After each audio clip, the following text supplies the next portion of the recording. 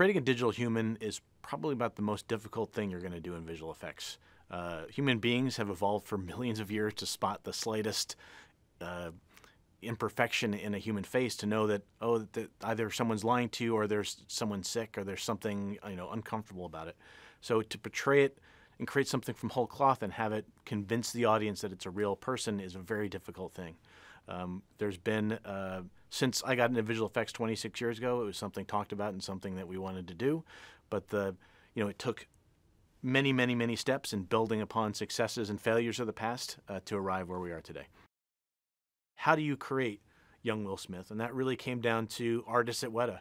We took photography of uh, of Will from from the you know from Bad Boys and from um, Independence Day, and we had there are artists there who uh, took a scan of him from his current day and kind of reversed the years.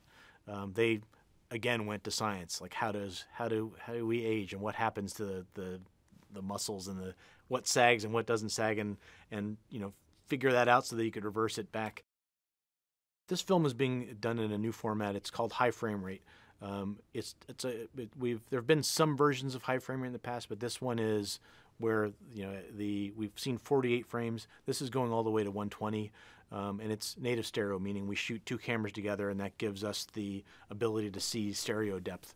Um, one of the interesting things happened, and what, what Ang felt when we did Life of Pi in 3D, is that there's a almost an emotional difference in films when something's 2D, it's like you see it on a wall and it's it's a bit you know like watching a poster.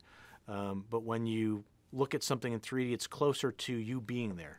And suddenly, when you're there, when when it's replicating human vision, things that we're used to, the graininess of film, the blurriness of motion blur, don't really make sense anymore because you don't see that for real. And when you go to 120, it's actually starting to get closer and closer to a, a feeling that you are in the you're you're in the space and especially with the 3D. So there's there's so many decisions that were made in this film to, to take advantage of that, to take advantage of this new experience that you, know, you couldn't see otherwise. Ang is an Academy Award winning director, and what's exciting to work with him is that he's always out there pushing boundaries. He's always looking for how to portray the things he had in his head in, in new and exciting ways.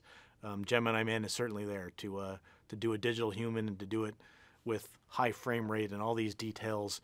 Uh, it's for me, I often say it's it's kind of like uh, coming to the edge of a cliff with a sheet and some rope and hoping to make the parachute on the way down. But it's also, if it wasn't something that scared me a bit, it wouldn't be worth doing.